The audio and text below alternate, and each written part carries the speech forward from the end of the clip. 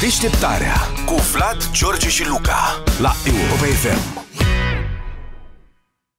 Da, din nou despre scandalul achizițiilor frauduloase din pandemie făcute de Romarm. Compania, știți, a cumpărat uh, utilaje neconforme pentru producerea de măști medicale de protecție, dar și măști în, în sine, care nu erau potrivite. Echipamentele și măștile au fost vândute de niște firme controlate de familia Pițurcă. Acum, desigur că atenția opiniei publice s-a concentrat imediat uh, pe acest nume, că Victor Pițurcă are o notorietate certă în țara noastră, dar mult mai interesant și mai semnificativ pentru această afacere frauduloasă este directorul Romarm, un personaj pe nume Gabriel Țuțu, fost polițist, fost șef de pază la un combinat, apoi Cariera dânsului a explodat, a devenit ofițer SRI, a trecut prin foarte dubioasa Academie SRI, mai este și acționar în vreo patru firme. Ei bine, acest personaj, care a fost pus șef peste cel mai important producător și exportator de produse militare din România, adică Romarm, are, ce să vezi, o interdicție din partea ASF de a lucra în domeniul asigurărilor, deoarece, țineți-vă bine, a escrocat o firmă de asigurări, la un moment dat. Sub semnătura lui Răzvan Luțac și Cătălin Tolontan apare o anchetă pe tema asta în Libertatea. Cătălin Tolontan este la telefon. Bună dimineața! Bună dimineața! Despre ce este vorba mai exact? E Gabriel Țuțu, care este directorul Romarm, uh, reținut, așa cum ai spus și tu, de, de, de către DNA sau investigat, da? Uh, făcuse o escrocherie și avea interzis să vândă poliție de asigurări, dar, în schimb, a putut fi numit să conducă 15 fabrici strategice de armament. De unde știm lucrul ăsta? Din monitorul oficial. Din monitorul oficial. Adică SRI, când e vorba de cazurile de corupție ale foștilor să angajați sau absolvenți ai Academiei de informații, Serviciul Român de Informații nu găsește informațiile nici când sunt publicate în monitorul oficial.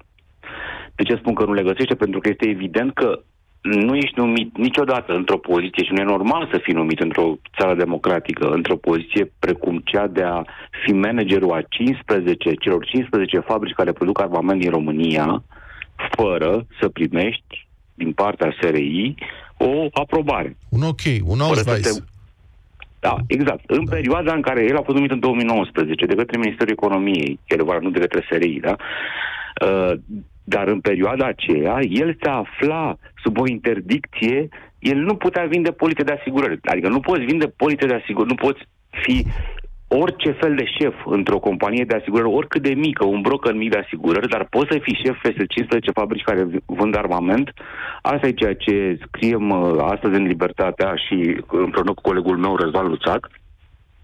Și lucrurile sunt absolut, absolut caragioase dacă n-ar fi triste, pentru că uh, dacă te uiți pur și simplu pe ce, pe ce uh, uh, scrie în monitorul oficial pe ce a găsit ASF că a făcut Țuțu în 2016, de pildă, ghilimele, domnul Țuțu Gabriel, în exercitarea mandatului, a dispus efectuarea de operațiuni comerciale care afectează patrimonial societatea și favorizează persoane aflate în relații speciale cu aceasta fraza asta apare de la DNA de acum, că el asta a făcut acum, uh-huh. da? Mhm. A afectat patrimonial Promarmu și a favorizat persoane care erau în relații speciale cu societatea pe care el o conducea, da? Uh-huh. Nu numai, uh, nu, și prietenii lui, nu numai uh, uh, Pițurcă senior și Pițurcă junior, că Tutu a făcut de, cu Pițurcă senior și Pițurcă junior mai mult și cu prietenii lui mai multe afaceri, mai apar în, în documentele pe care le-a făcut publice, puține de altfel, că, mă rog, asta e, suntem în cercetare penală, uh, dar e și treaba presei să afle mai multe, apar și alte, nu apar nume, dar apar alte persoane care au luat parte la această schemă pe care Tutu a pus-o la uh, uh, uh, a, a fondat-o, ca să spun așa, da? A pus-o în aplicare. A pus-o da. la cale, scuzați-mă, da. Uh, mai mult decât atât, omul a lucrat, când a lucrat în asigurări și a uh, a fraudat și societatea și pe asigurați. Da. Da, și, pe, și a escrocat și pe asigurați, pe oamenii care plăteau polițele. De ce? Pentru că el își dădea din societatea pe care o conducea singur bani pe contracte de consultanță. Mhm. Din, a, banii ăștia veneau din sumele încasate de la asigurații care își plăteau polițele la acea companie. Da? A inițiat litigii și lua banii societății pe care o conducea, având informații, bineînțeles, din interior. nu singur, că un cetățean italian care era acționar la Forte beneficia și el de această combinație. Deci SRI nu găsește că un om uh, fraudează, escrochează și oamenii și asigurările până, uh, până la nivelul în care este prins de ASF, beneficiază și un cetățean străin din această combinație și lasă să fie șeful Romar. Da.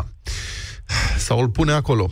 Um, da, este vorba de o, aso- o asociație care se numea Forte Asigurări și Reasigurări. Um, domnul Țuțu, adică e, e oficial, cum ai spus, decizia ASF a apărut în monitor oficial, a primit interdicție și o amendă de 50.000 de lei pentru uh, acțiunile și sale. societatea, Vlad, scuză-mă, te rog, a și falimentat. Și da. ca toate celelalte societăți care au falimentat, uh, Astra, Carpatica, City, uh, uh, Forte și altele, statul român a plătit din banii oamenilor care se asigură aceste, au umplut aceste găuri. Ca să fie clar. Deci inclusiv în cazul ăsta, în cazul lui Tuțu, banii pe care și-a încasat el pe companiile lui, el, italianul și toți ceilalți complici, că erau complici oamenii din, în această combinație, uh-huh. uh, au fost plătiți de către statul român. Da. Deci, încă o dată, să nu își imagineze cineva că ai deschis subiectul ăsta, voiam să insist și să subliniem asta, să nu-și imagineze cineva care ne ascultă că poți, în, prin, în general, să te ocupi de comerț de armament în țara asta, fără să ai un Ausweis și să fii verificat de SRI și în niciun caz nu există vreo posibilitate normală să poți să fii șeful Romarm fără să ai parafă, aviz, să spună cineva de acolo, domnule, da, este ok, l-am verificat. Deci, Romarm citez din Libertatea, pe lista responsabilităților acestui domn Gabriel Susu se numărau, până la reținerea de către DNA, fabrici extrem de cunoscute în România și străinătate, pe, precum fabrica de arme și uzina mecanică din Cugir, Arsenal Reșița, Tohan, uzina mecanică Mija, Metron Brașov și altele. Deci cu totul cât? Sunt 15 fabrici de armament, muniții și armament din țară. Și personajul ăsta este pus cum, e fost ofițer SRI, este, uh, a făcut master la Academia SRI. Deci a, acolo este clar că e un putregai cumplit în această zonă, care deja cred că începe să pună în pericol siguranța națională, pentru că te poți întreba bun, ok, au cumpărat măști medicale uh, neconforme și utilaje care nu funcționează cum trebuie. Dar oare ce se întâmplă cu Uh, contractele pentru armament, pe, la care opinia publică nu are acces, că astea sunt, evident, într-o zonă secretizată. Adică dacă în ceva ce se poate totuși verifica, se petrece așa ceva. Dacă în domenii verificabile și supravegheate, cum este domeniul asigurărilor, domnul Țuțu comite o escrocherie care duce la excluderea lui din sistem, o pălmuță peste mână, dacă e să vorbim. Amendă 50.000 de lei, publicare monitor oficial. Și cu toate astea, SRI-ul te recuperează și te pune șef la Romarm. Ce putem să înțelegem păi da, despre că, Vlad, felul în care funcționează serviciile secrete în România? Da. Exact, scuză-mă, doar, doar un minut și am încheiat. Da. Pe de-o parte, ASF-ul, într-adevăr, eram cu spui și tu, mângâie pe creștet, dacă nici și ASF-ul transformă infracțiunile în, uh, pe care le putea reclama parchetului și nu e singurul caz, se mai întâmplă cazuri de genul ăsta, chiar acum pe piață e mare tulburare, pentru că există o situație concretă, dar să nu nu vreau să ducem într-o discuție divergentă, să rămânem exact pe ceea ce ai spus tu. Și oamenii se întreabă, domnule, poate că de fapt ei știau și slăbiciunea o foloseau. Și e legitim să întrebe așa. De ce e legitim? Pentru că mai avem încă un caz de mare instituție uh, al cărui șef a fost prins în pandemie uh, cu un caz de corupție, a fost și condamnat în prima instanță. E vorba de Adrian Ionel, uh-huh. șeful de la Unifarm da.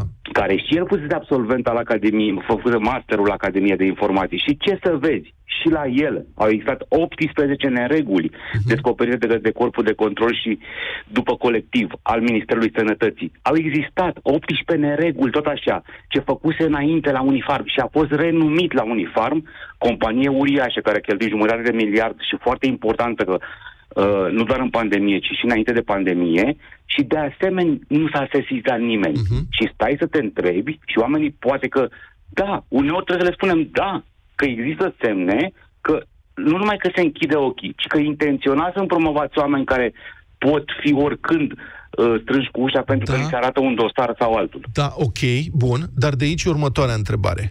Bun, poți să presupui la limită că statul dorește să pună în astfel de funcții oameni care să um, poată fi controlați. Șantajabil pe românește. Da, dar șantajabil pentru ce?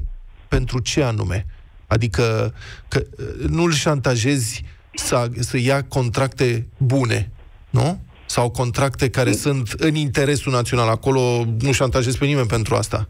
Că atunci îl dai afară nu, dacă nu face asta, facă nu? ce vrei tu. Ce anume să facă? Ce vrei tu. Nu?